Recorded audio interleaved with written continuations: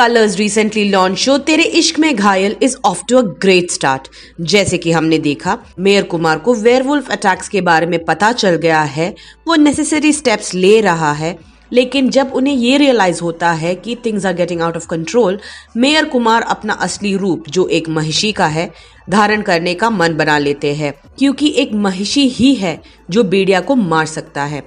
Show के upcoming episode में ईशा को यह एहसास हो जाता है कि वो अरमान के बिना नहीं रह सकती।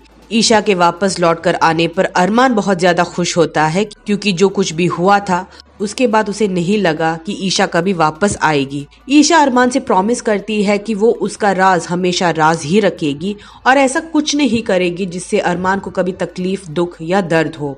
दूसरी ओर, कैद से बाहर निकला वीर का सिर्फ़ एक ही मकसद है, अपने प्यार काव्या को ज़िंदगी देने का। और उसके लिए उसे चाहिए ईशा। जी हाँ वीर को ईशा की ज़रूरत है because she is the doppelganger और इसीलिए वो ईशा को उसके कमरे से उठा लेता है। अरमान जब तक वहाँ पर पहुँचता है, तब तक वीर ने वो रिचुअल शुरू भी कर दिया होगा जिससे काव्या को ज़िंदगी मिले, भले ही रिचुअल के दौरान ईशा की मौत हो। ईशा को वीर से कैसे बचाएगा अरमान? जानने के लिए देखते रहिए तेरे इश्क में गायल और शो से रिलेटेड अपडेट्स के लिए ग्लिट्स विजन यूएसए को सब्सक्राइब करना ना भूलें। This is me Anushka Singh. You're watching me on Glitz Vision USA. Thank you.